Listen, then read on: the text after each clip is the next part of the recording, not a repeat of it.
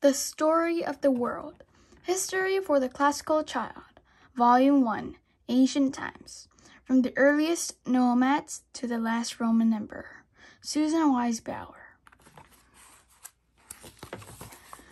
Chapter 3 The First Writing Hieroglyphs and Cuneiform. The Egyptians were among the earliest people to use writing. Why do you think it's important to be able to write things down? Suppose I write a message for you on a piece of paper and put it on the table. Then I leave the room. If you look at the paper, you'll know what I wanted to say to you, even though I'm nowhere around. That's one reason writing is important. Once the Egyptians learned to write things down, they could send messages from one part of the kingdom to another. What if you found any what if you found my message a year after I wrote? You will still be able to hear my words, even though I had written them down long before. That's the second reason that writing is so important. The Egyptians could write down the important events that happened during their lifetimes and leave them for their grandchildren and great grandchildren to read. The Egyptians used pictures to write with. We call these pictures hieroglyphs. The pictures stood for certain words.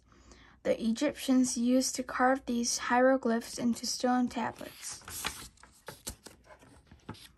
The stone tablets lasted for a very long time, but they were heavy to carry, and carving the pictures into stone took weeks of work.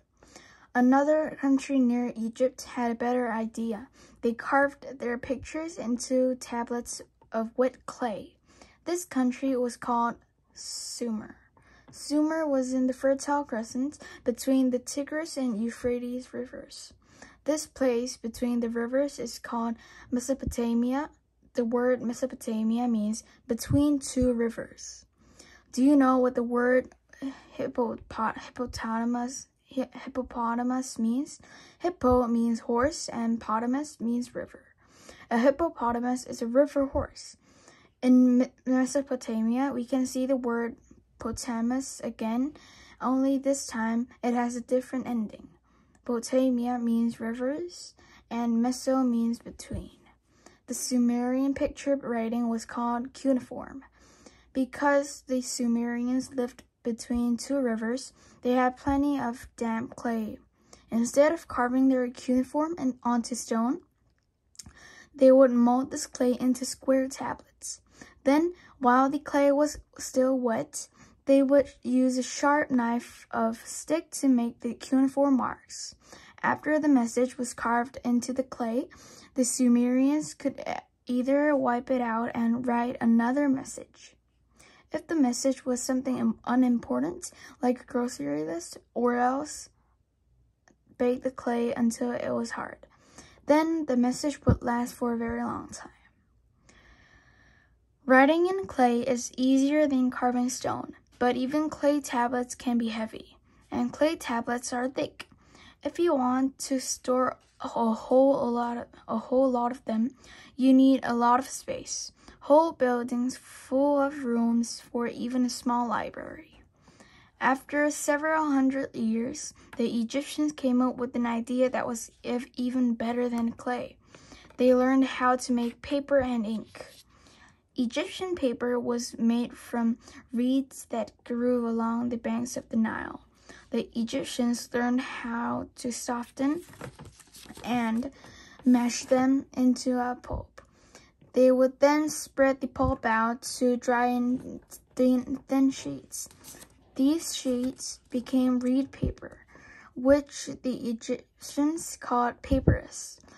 It was much easier to write on paper than on clay or stone. Paper was also easier to carry around. You could fold it up and put it on your pocket, or roll it up into a score, scroll. And paper took up less room, when they started using paper, the Egyptians thought they had found the best way to keep records. But paper has a problem. When paper gets wet, the ink on it dissolves and the paper falls apart. And paper also starts to fall apart over time.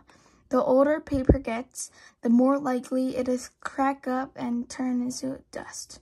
We know a lot about Egyptian history from the times that Egyptians wrote on stone because those stone writings have lasted for centuries, from Egyptian days until now. We know a lot about Sumerian history too because clay tablets last for a long time if they've been banked hard. But we don't know how we don't know a great deal about what happened in Egypt after the e Egyptians started writing on a paper because in the thousands of years that have gone by, the paper writings of the Egyptians have crumbled and disappeared. The end of chapter 3.